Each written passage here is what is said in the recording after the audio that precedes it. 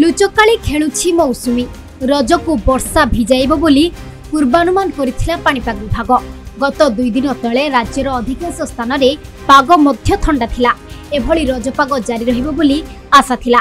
ହେଲେ ଆସନ୍ତା ଚବିଶ ଘଣ୍ଟା ରାଜ୍ୟରେ ତାତିରୁ ତ୍ରାହି ମିଳିନପାରେ ଭାରତୀୟ ପାଣିପାଗ ବିଭାଗର ପୂର୍ବାନୁମାନ ଅନୁସାରେ ଷୋହଳ ବା ସତର ତାରିଖରେ ମୌସୁମୀ ଓଡ଼ିଶା ଛୁଇଁପାରେ।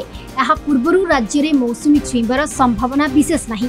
যদিও এ সময় বিভিন্ন স্থানের কালবৈশাখীর সম্ভাবনা অন্তু কিন্তু মৌসুমী প্রভাবর বর্ষা হবনি। তেমন রজ সমেত এর পরবর্তী দুই দিন বি পাপাগরে বিশেষ পরিবর্তন হয়ে নপরে আসন্তা অড়চাশ ঘণ্টা রাজ্যের অধিকাংশ স্থানের দিনর তাপমাত্রা স্বাভাবিক ঠার তিন রু চারি ডিগ্রি অধিক রহব বলে আঞ্চলিক পাপাগ বিভাগ পক্ষ কুহযাই এরপরে পাগ বদলিব ও গরম কমিযিব বলে আকলন হয়েছে সোমবার রাজ্যের অঠটি সহরর তাপমাত্রা চাশ ডিগ্রি উপরে রয়েছে ଦକ୍ଷିଣ ଓଡ଼ିଶା ଆଭ୍ୟନ୍ତରୀଣ ଓଡ଼ିଶାର କିଛି ସ୍ଥାନରେ କାଳବୈଶାଖୀର ସମ୍ଭାବନା ରହିଛି। Bureau report Odisha Bhaskar.